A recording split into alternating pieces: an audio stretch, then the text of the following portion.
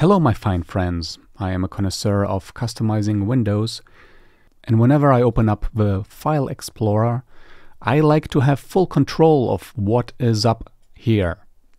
Now I recently reinstalled Windows and this is a perfect opportunity to show how you can remove stuff from here and how you can add stuff to here. For example, I will never use videos, what is this even in here? And I will never use 3D objects and I want from data, I have this capture folder, which I want here with a customized icon. This is achieved with Winaero Tweaker. Winaero Tweaker, which need admin rights and looks like this. Now, if you search for Winaero Tweaker or even mistype it, you should get the winaero.com website link. So go there, scroll down to get Win Winaero Tweaker, and download Winaero Tweaker. Yes, this is it. Then you will have to manually extract it with extract all in the right click menu. Press extract and then you can either use a silent setup or just manually install it, run anyway. You have to give it admin rights.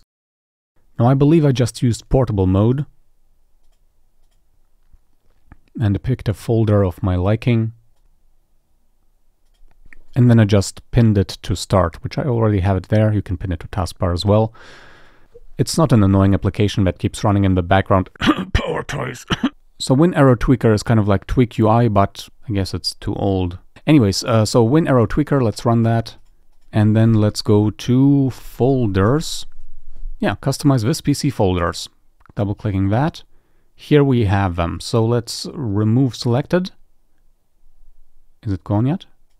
Is it gone yet? Let's refresh. It's gone. And let's get rid of videos. Remove selected. Refresh. It is gone.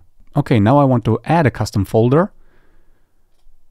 Uh, let's add, oh, I can even pick the icon here. So from data, I want to add capture. So I'm going to open that. It has way too much stuff. And I'm going to copy this path.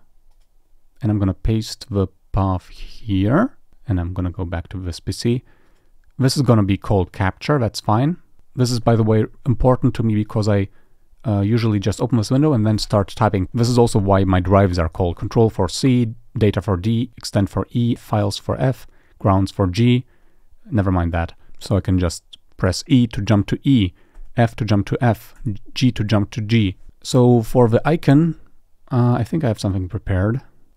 Ah, yes, yes, my beautiful capture folder. All right, let's reload, refresh. Capture is here.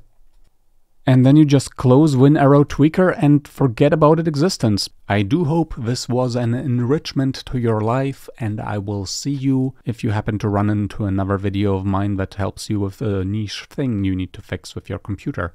Until then, a ciao!